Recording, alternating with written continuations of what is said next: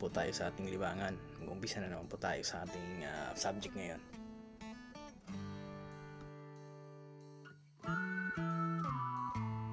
Yung subject natin guys, ito yung isda na ano, dorado o mahi-mahi. Gusto ko lang ito guys ang gawin ko ngayon kasi parang gusto ko yung mga kintab niya sa dagat sa underwater. So yun yung gusto ko. So sige guys, umpisa na natin. No? Doon pa rin tayo sa light.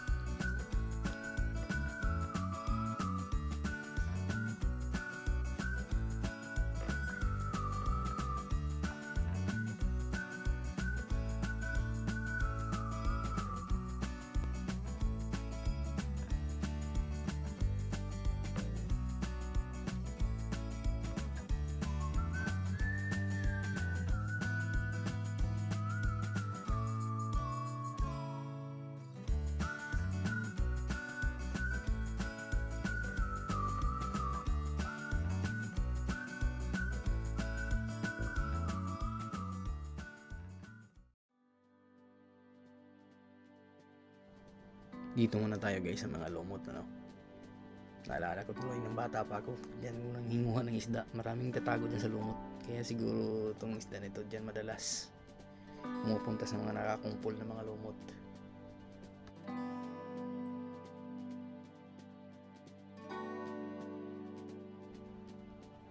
Yan guys ano?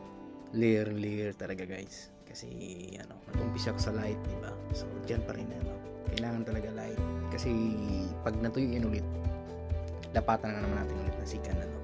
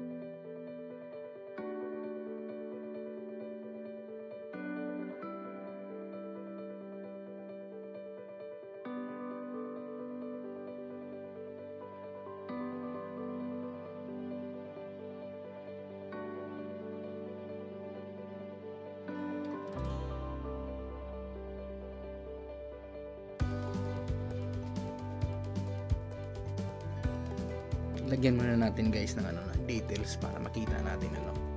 So dito muna natin umpisahan sa mata.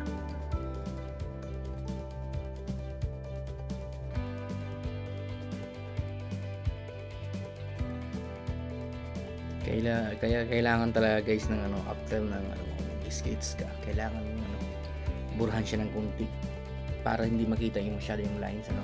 Nandiyan pa rin yung lines ng lapis so nakalimutan kong burahan yan guys so pangit tingnan di ba So, sa sunod, pag nag-skate sa'yo, huwag yung masyadong idark para hindi na makita yung lines ng lapis.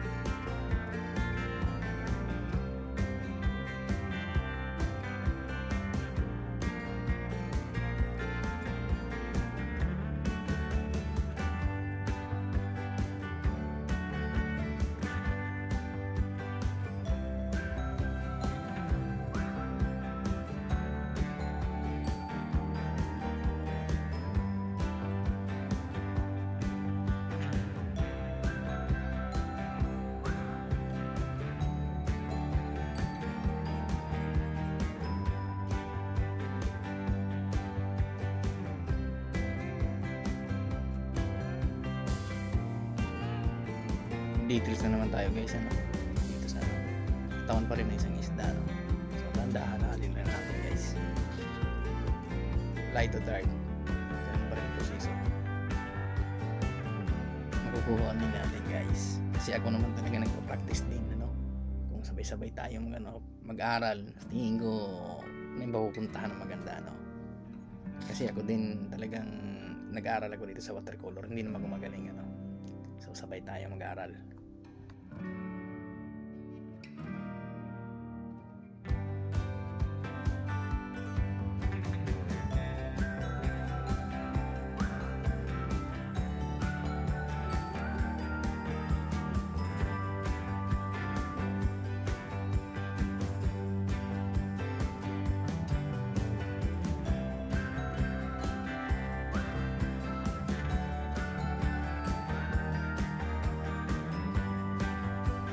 lagyan na natin guys ng ano ng dots sa katawan niya. Kulay blue.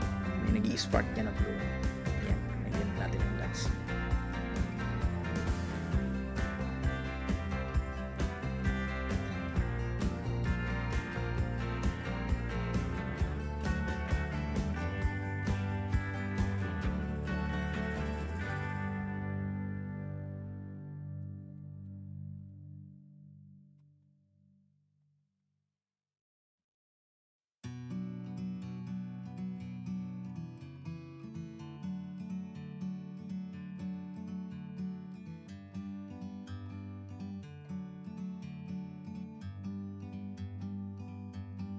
bird on a tree.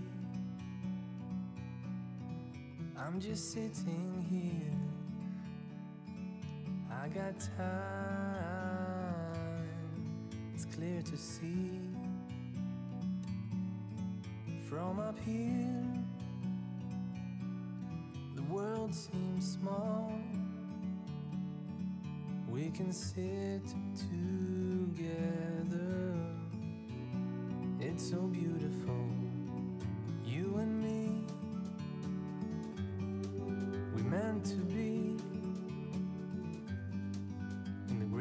dito na naman tayo guys sa ano guys sa maliit na isda. Yan pa rin ganun pa rin. Ah, light. Matuto talaga.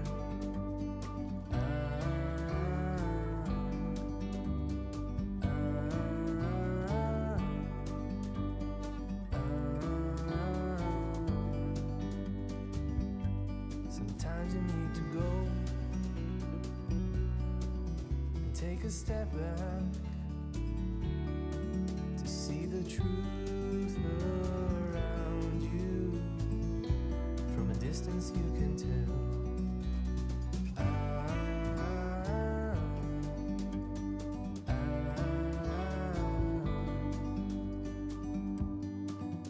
You and me meant to be door.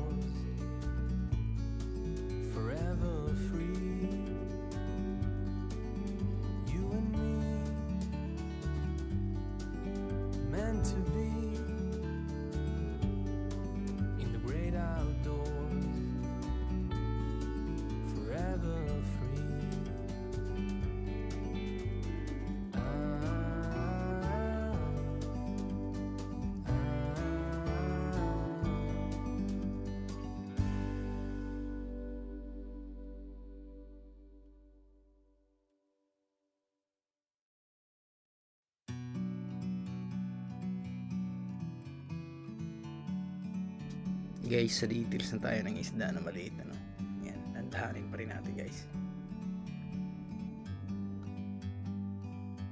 like a bird on a tree.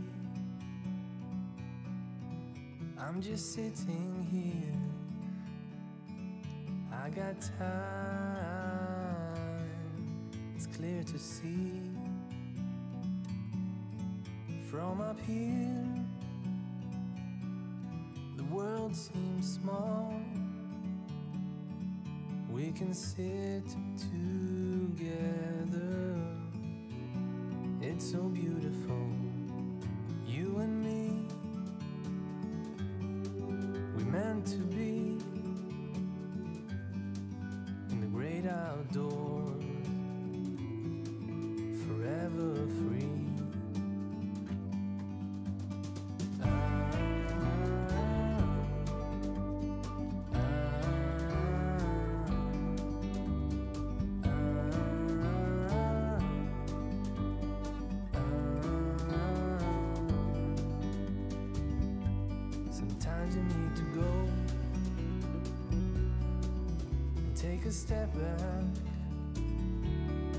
Yan guys, ano, sa dito sa, sa isda. So, medyo malapit na tayo mga guys. Ano. From a distance you can tell.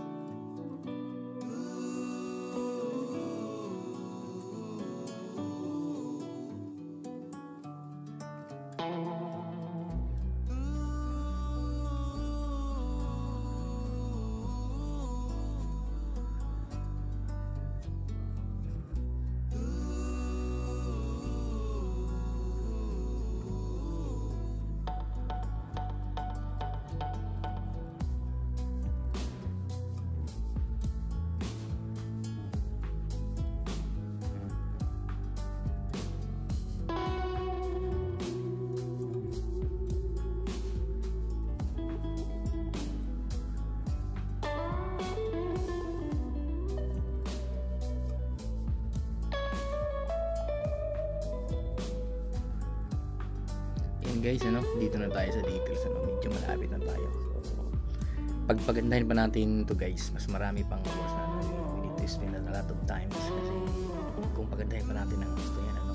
Pero, hindi naman to commission. So, kunting ano lang, sharing ng ano, kaalaman ko sa watercolor. So, yan guys, ano.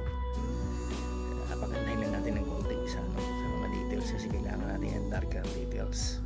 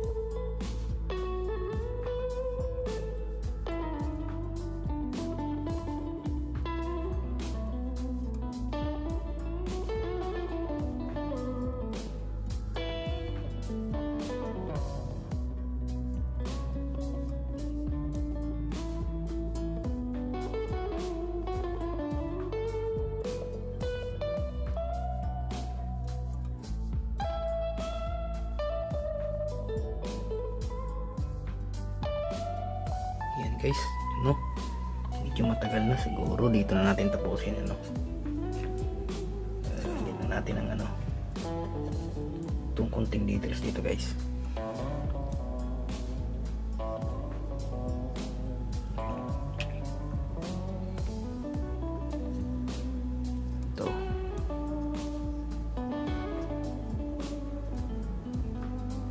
Yan guys, ano?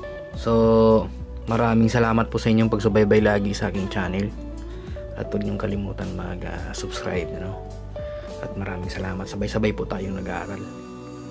So, sana po may matutunan kayo tuwing may ginagawa ko. So, ito na lang guys ang kulang natin. Alam niyo na kung anong kulang natin. Ang ating mahiwagang ah, signature.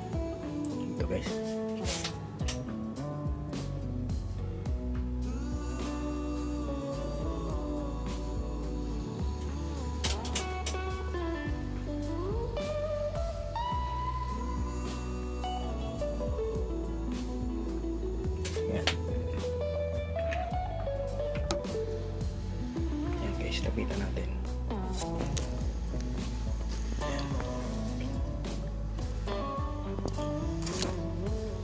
Maraming salamat sa inyo guys sa inyo magsubaybay lagi sa aking channel.